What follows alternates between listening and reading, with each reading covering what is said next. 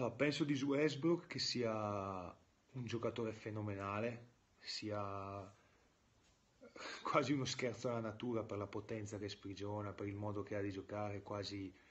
anzi, non quasi, sicuramente ai limiti, ogni, ogni, ogni azione ai limiti della fisica, perché gli ho visto fare cose che a nessun giocatore mai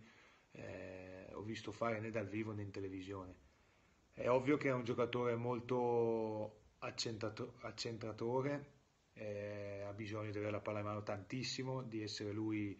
eh, il leader nel bene e nel male della squadra. eh, però insomma se, se ci mettiamo a criticare anche Westbrook eh, diciamo che siamo un po' alla pazzia perché